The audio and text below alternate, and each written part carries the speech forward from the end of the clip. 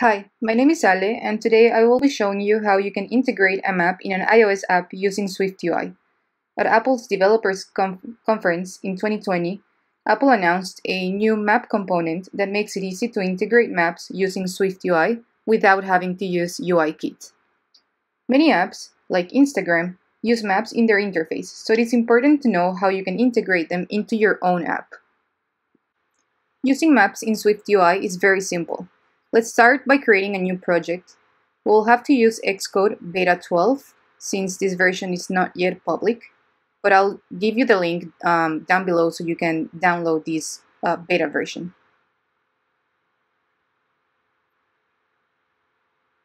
So let's create a new app and we'll have to make sure that we're using SwiftUI for the interface and the lifecycle.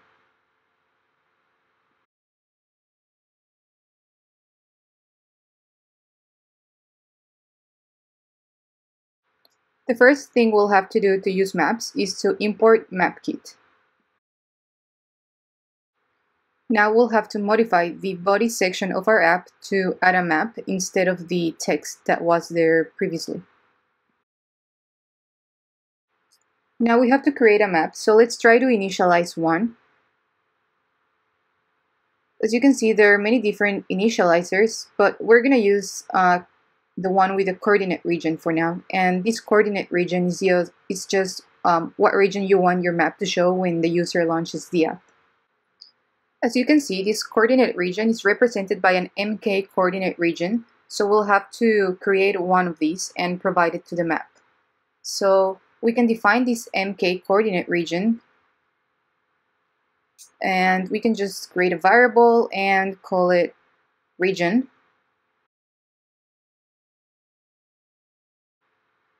There are also different initializers. We're going to use the center and span initializer. The center is just uh, where you want your map to begin.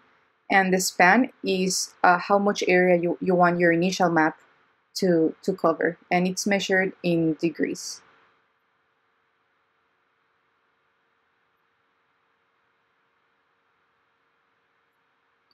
For the center, we need to provide a CL location coordinate 2D and this is just the latitude and longitude of a location. For this example, I have the Tokyo coordinates saved, so I'm just gonna type those in.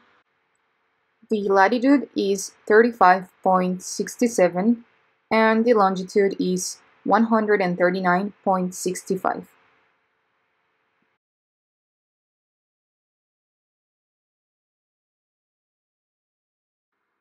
And for the span, I'm just gonna use 0.5 and 0.5 for both values of the MK coordinate span object.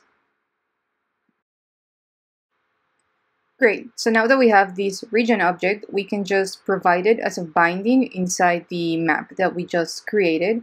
So we have to use the dollar sign and then just type in region. Cool. So now, let's try and test our app and see if we can see Tokyo on a map inside the simulator.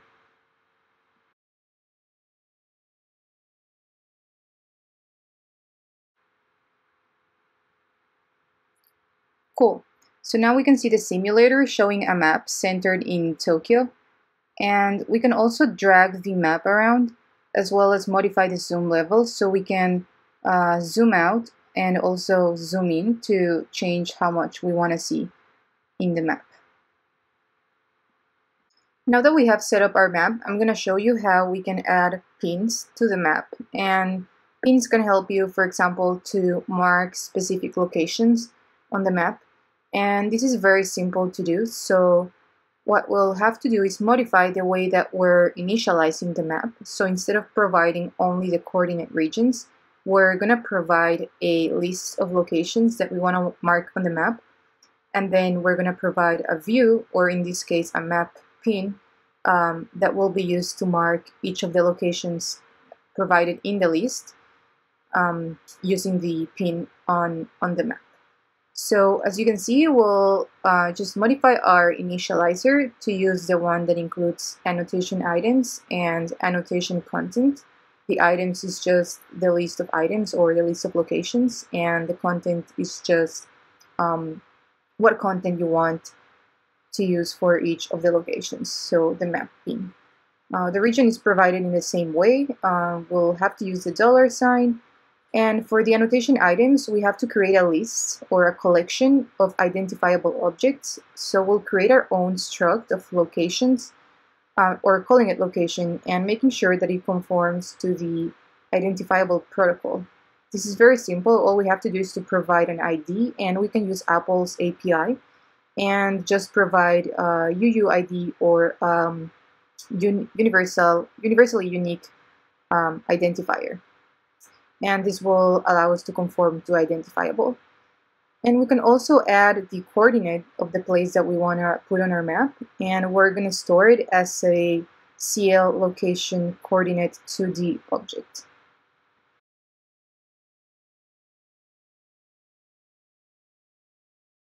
So now what we're going to do is create a list of uh, location and we can just add any coordinates that we want to mark on the map. In this case, I'm just going to include Tokyo, so the same coordinate that um, we're using uh, above to create the coordinate region. But you can also add any other locations inside this list.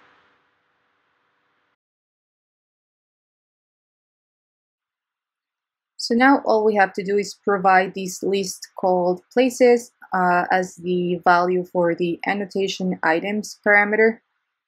And for the annotation content, we're going to take each of these places inside the list.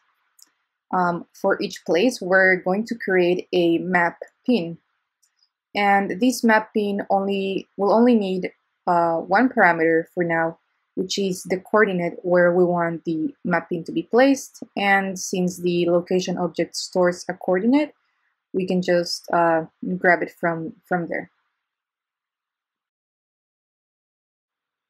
Cool. So if we run our app now, we should see the map centered in Tokyo, as well as a pin that is dropped in the Tokyo coordinates. So let's run it and see. Great. As you can see, we have our map and we have a red pin. So Apple by default provides red pins, but you can also change the color if you wanted to. And this is also very simple. You only have to modify one parameter inside map pin, and that's the tint parameter. Um, this is just a color object. So for example, we can change it to be green. And if we run our app now, we should see a green pin instead of a a red pin.